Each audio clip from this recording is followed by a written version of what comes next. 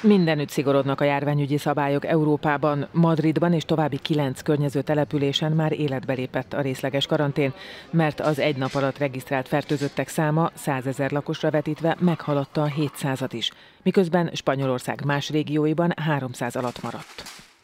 Nagyon sokan tiltakoznak az intézkedés ellen, több tüntetés is volt az elmúlt napokban. Az egyik madridi étterem vezetője szerint ez egy nagyon rossz döntés, végzetes lépés a politikusok részéről, és ők vendéglátósok isszák meg a levét.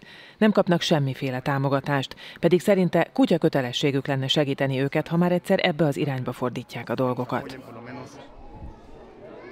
Madrid ügyében vérremenő vitát folytatott a politikailag is szemben álló kormány és városvezetés. Utóbbi nem akart karantént, de az egyre romló járványstatisztika védhetetlenné tette a főpolgármester álláspontját. Franciaországban is esélyes, hogy lezárják a fővárost, ezt már kilátásba helyezte a kormány arra az esetre, ha tovább romlik a helyzet.